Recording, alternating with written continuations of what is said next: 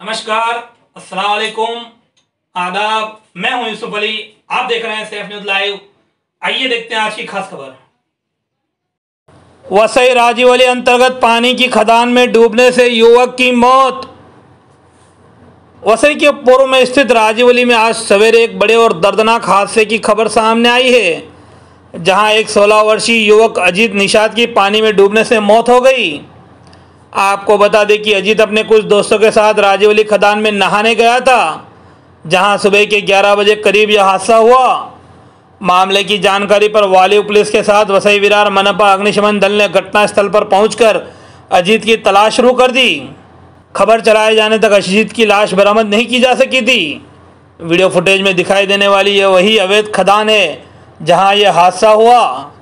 राजीवली के इस क्षेत्र में खनन माफियाओं द्वारा बड़ी बड़ी चट्टानों को काटकर बड़े और गहरे गड्ढे बना दिए गए हैं।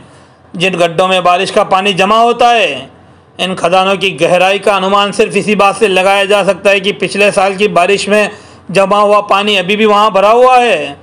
आपको यह भी बता दें कि इन खदानों से प्रतिदिन कई अवैध टैंकर पानी भरकर ले जाते हैं, जिसकी सप्लाई पूरे वसई विरार में होती है। एक तरफ़ अवैध खनन होता है तो वहीं दूसरी ओर अवैध पानी का व्यवसाय भी जोरों, शोरों से शुरू है। ऊपर से सुरक्षा व्यवस्था की बात करें तो इन खदानों में किसी तरह की सुरक्षा व्यवस्था नहीं है। इससे पहले भी इन खदानों में गिरने के अलावा मर्डर करते हुए लाश फेंके जाने व कूद कर जान देने के मामले भी सामने आ चुके हैं। उसके बावजूद प्रशासन अपनी आँखें मूंद कर बैठा हुआ है। Bureau report, safe news live.